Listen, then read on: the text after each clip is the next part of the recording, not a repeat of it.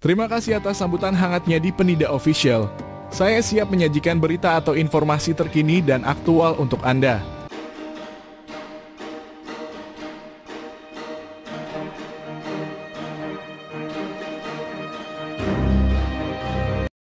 PSSI tampaknya serius dalam memperkuat lini pertahanan timnas Indonesia dengan meminta izin kepada klub masing-masing pemain Elkan Bagot dan Justin Hubner.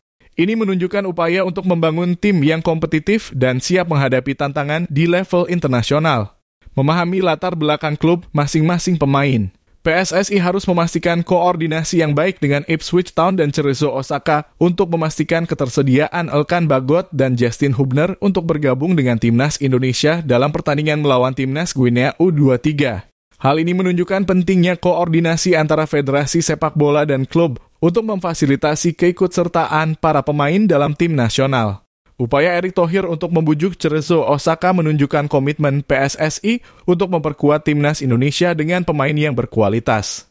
Sementara itu, optimisme Elkan Bagot didukung oleh pencapaian Ipswich Town yang memastikan promosi ke Liga Premier Inggris yang dapat memudahkan proses izin untuk bergabung dengan timnas Indonesia.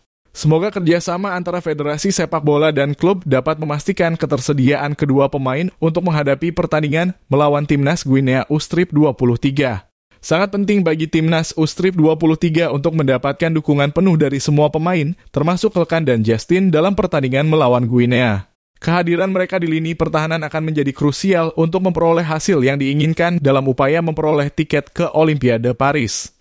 Dengan semangat dan kerja keras, semoga timnas Ustrip 23 dapat meraih kemenangan yang dibutuhkan untuk mencapai tujuan mereka.